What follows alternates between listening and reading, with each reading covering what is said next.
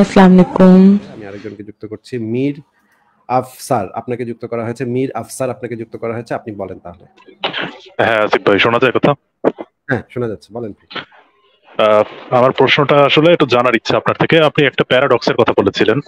আহ, আমি মূলত আপনার ওই কথাটা শুনে প্যারাডক্স কি জিনিস সেটা নিয়ে আলোচনা মানে পড়াশোনা করা শুরু করি আর সামথিং। প্যারাডক্স ছিল এরকম যে সর্বশক্তিমান ঈশ্বর একটা এমন কোনো পাথর কি বানাতে পারবেন কিনা, সেটা সে নিজেই তুলতে পারবে মানে সেটা সে নিজেই তুলতে পারবে না।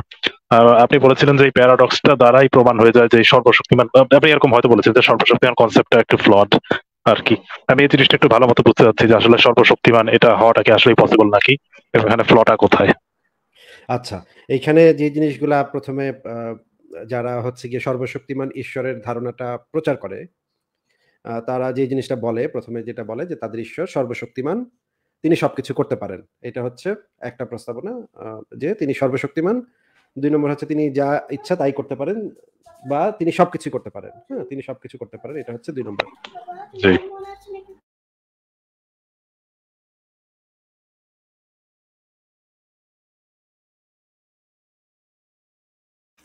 আচ্ছা তাহলে এক সেকেন্ড ভাই আমার ছেলেটা এবার একটা আইসক্রিম নিয়ে আসছে আইসক্রিমটা খাবে বলছে সে। জি জি অবশ্যই। আইসক্রিম খাওয়া দিও। আচ্ছা প্রথম হচ্ছে গিয়ে এটা বাবা দরজা টেনে দিও বাবা। দরজা টেনে দিও আর একটা প্লেটের উপর রেখে খেও ঠিক আছে? জামায় ফেলো না। আচ্ছা সরি মির ভাই আমি দুঃখিত আমার মানে বাচ্চাটা আবার মাঝখানে চলে এসেছিল। আমি যেটা বলছিলাম যে প্রথম হচ্ছে তাদের ঈশ্বর সর্বশক্তিমান তিনি সবকিছুই করতে পারেন। এখন মনে করেন যে আমি বললাম একটা মানে মনে করেন একটা উদাহরণ দেখি। যে আমি বললাম যে আমি কারওয়ান বাজার থেকে সবকিছু কিনে আনতে পারি। এটা যদি আমি বলি, সে কারণ বাজারে সবকিছু পাওয়া যায়, সবকিছু কিনে আনতে পারি। সবকিছু পারি কথাটা কিন্তু এখানে ভুল। কারণ হচ্ছে কারণ বাজারে আসলে সবকিছু পাওয়া যায় না।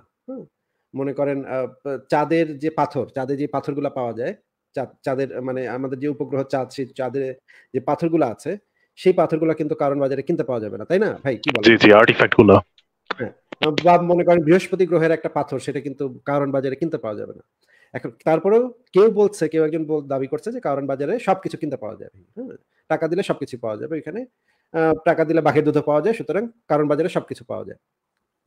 তো এই যে তার এই কথাটা তার কথাটাকে ভুল প্রমাণ করতে হলে তখন তো আমি তাকে প্রশ্ন করব যে আচ্ছা ঠিক আছে। কারণ বাজারে যদি সবকিছু পাওয়া যায়, তাহলে তুমি কারণ বাজারে একটা উড়ন্ত ঘোড়া আমাকে কিনে দেখাও তো। হুম?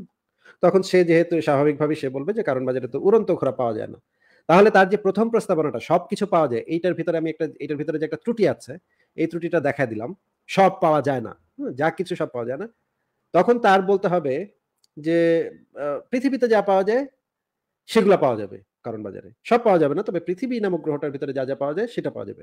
তখন আমি আবার প্রশ্ন করব আচ্ছা ঠিক আছে, তাহলে তুমি তুমি যদি পৃথিবীতে যা যা পাওয়া যায় সবই যদি পাওয়া যায়, তাহলে তুমি একটা মনে করেন যে একটা ভ্যাটিকান সিটি আমাকে কিনে দেখাও। হুম, আমি একটা ভ্যাটিকান সিটি কিনতে চাই কারণ বাজার থেকে।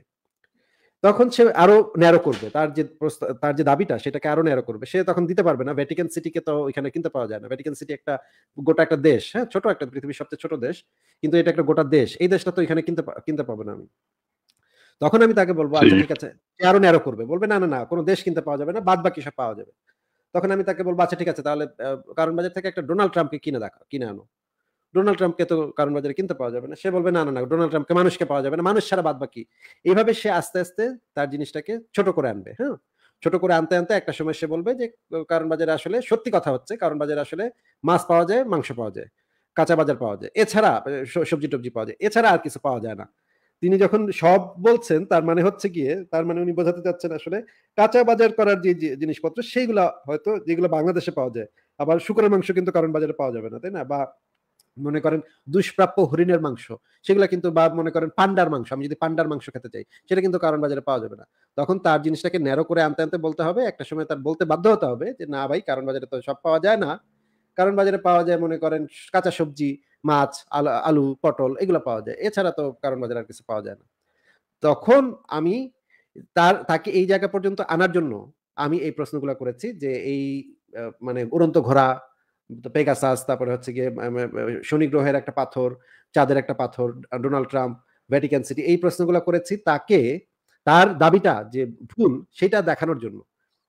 এখন, আমার যে কথাটা, আমার যে মানে বক্তব্যটা, কারণ বাজারে যদি সবকিছু পাওয়া যায়, তাহলে তুমি কারণ বাজার থেকে একটা ডোনাল্ড ট্রাম্পকে কিনে দেখাও। এই কথাটা হচ্ছে একটা প্যারাডক্সিক্যাল কোশ্চেন এই কোশ্চেনটা দিয়ে আসলে আমি তার যে দাবিটা, সেই দাবিটাকে টেস্ট করতেছি। যে দাবিটা ঠিক আছে নাকি? দাবিটা মানে অ্যাপ্রোপ্রিয়েট কিনা? ঠিক আছে?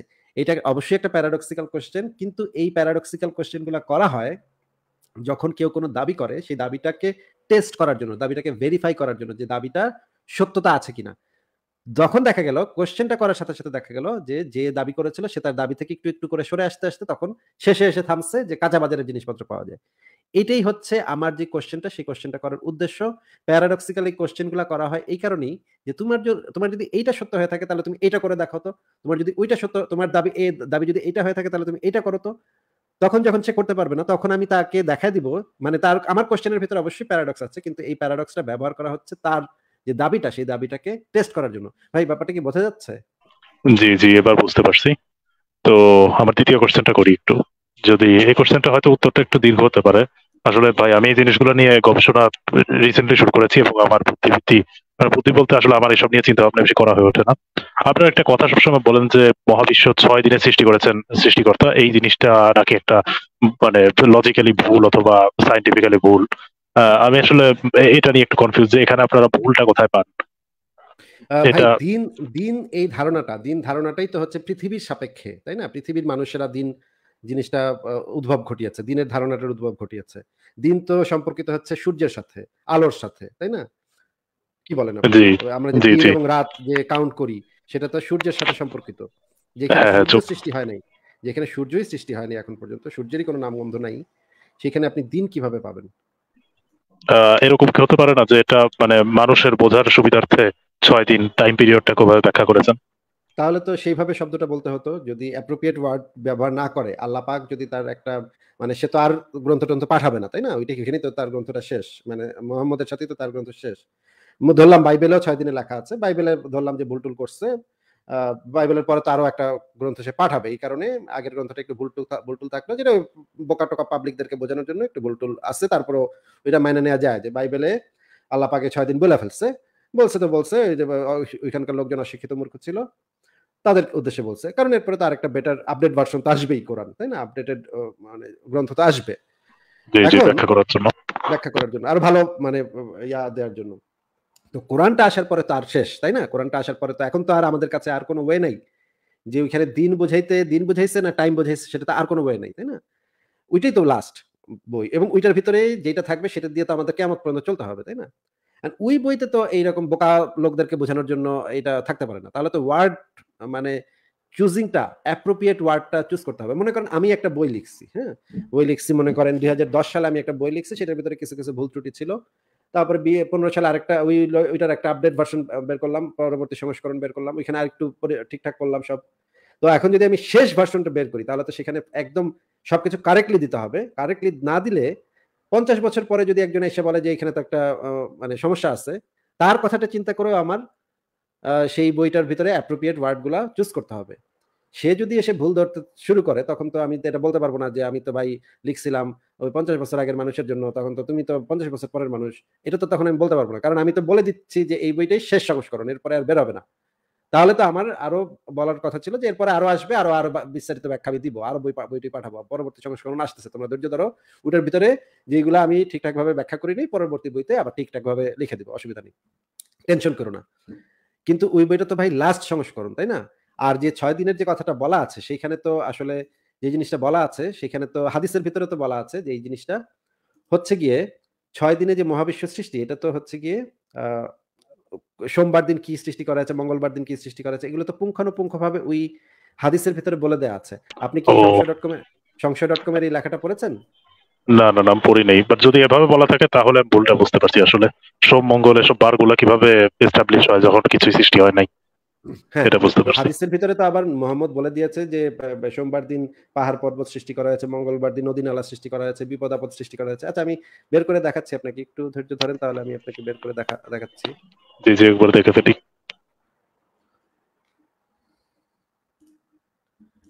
এবং হাদিস এবং তাফসির গ্রন্থগুলোতে এই জিনিসগুলো খুব পরিষ্কার ভাবে দেয়া আছে যে কবে কোন দিন কি জিনিসটা আসলে সৃষ্টি করা হয়েছে সেগুলা আরও বিস্তারিতভাবে দেওয়া আছে। এখন হাদিস হচ্ছে কোরআনের ব্যাখ্যা। এখন ব্যাখ্যাতে যখন একদম পরিষ্কারভাবে বলে দিবে যে এই যে দেখেন আহ, সহি মুসলিমের হাদিস ছয় হাজার নয়শো সাতচল্লিশ নম্বর হাদিস এখানে উপরে বলেই দেওয়া হচ্ছে সৃষ্টির সূচনা ও আদমের সৃষ্টি। এই যে দেখেন সৃষ্টির সূচনা এবং আদমের সৃষ্টি। আহ, দেখা যাচ্ছে ভাই? পরিষ্কার। আচ্ছা। এখানে একটু পরেন তো তাহলে লাল কালিটুকু একটু পরেন তো। রাসূলুল্লাহ সাল্লাল্লাহু আলাইহি আমার হাত ধরে বললেন এরপর থেকে। রসুল্লাহ সাল্লাহ সাল্লাম আমার হাত ধরে বললেন আল্লাহ তাআলা শনিবার দিন মাটি সৃষ্টি করেন এবং এতে পর্বত সৃষ্টি করেন রবিবার দিন। সোমবার দিন তিনি বৃক্ষরাজি সৃষ্টি করেন মঙ্গলবার দিন তিনি বিপদ আপদ সৃষ্টি করেন তিনি নূর সৃষ্টি করেন বুধবার দিনে তিনি বৃহস্পতিবার দিনে পৃথিবীতে পশু পাখি ছড়িয়ে দেন এবং জুমার দিন আসরের পর জুমার দিনের শেষ মুহূর্তে অর্থাৎ আসল থেকে নিয়ে রাত পর্যন্ত সময়ের মধ্যবর্তী সময়ে সর্বশেষ মাখলু- মাখলুক আদম আলাহ ইসলামকে সৃষ্টি করেন। আচ্ছা আচ্ছা। আরেকটা হাদিসে আছে যে এই যে এই যে এই যে নূর সৃষ্টি করেন যে এই নূর সৃষ্টি করেন এই জিনিসটা কি কবে কবে ভাই নূর সৃষ্টি করেন? জি নূর সৃষ্টি করেন বুধবারে। বুধবার দিন নূর মানে আলো মানে আলো মানে সূর্য তাই না? জি জি জি। আচ্ছা এখন আপনি বলেন তো যে এই যে তিনি বৃক্ষ সোমবার দিন বৃক্ষরাজি সৃষ্টি করলেন কিন্তু সূর্যটাকে বানাইলেন গিয়া বুধবার দিন। আহ, আপনি কি ভাই জানেন যে পৃথিবীতে গাছপালার জন্য গাছপালা শালক শালক সংশ্লেষণের জন্য সবচেয়ে ইম্পর্টেন্ট হচ্ছে আলো। আলো হ্যাঁ। জানেন? জি জি জি। আলোটা তো তিনি সৃষ্টি করলেন বুধবার দিন কিন্তু সোমবার দিন তিনি বৃক্ষ সৃষ্টি করে বসে আছে। ভাই মানে ভেজালটা কি বোঝা যাচ্ছে?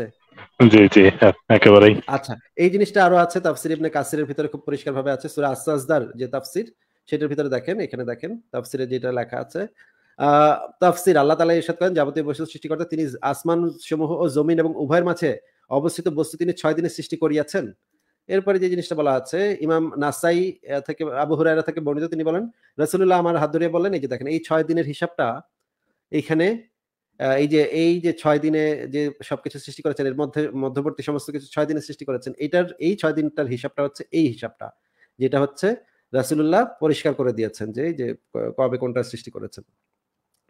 দেখা যাচ্ছে ভাই জি জি জি এগুলো এই জিনিসটা কি মানে বৈজ্ঞানিক ভাবে আপনার কাছে কতটুকু মানে সঠিক মনে যথার্থ মনে হয় বলেন তো? মানে আপনি যদি প্রাইমারি স্কুলেও যদি কেউ পাশ করে থাকে সেটা বুঝবে যে এখানে তো একটা বড় গন্ডগোল আছে তাই না?